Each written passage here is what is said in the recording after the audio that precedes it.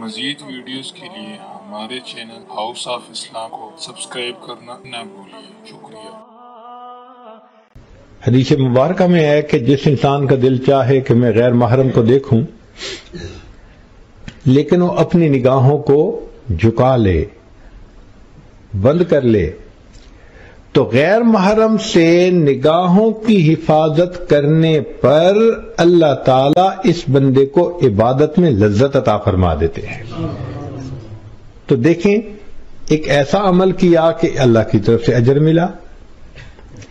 इसी तरह दिल के अंदर जब भी गुनाह का इरादा हो, बंदा उसको रोके तो ये दीन इस्लाम की खूबसूरती है कि शरीयत ने कहा कि इस पर भी अल्लाह ताला उस बंदे को अजरता फरमाएँगे।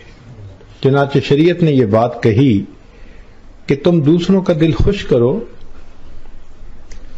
सबसे बेहतर बात तो यह है। और अगर दिल खुश नहीं कर सकते तो कम अज कम दिल तो ना दुखाओ।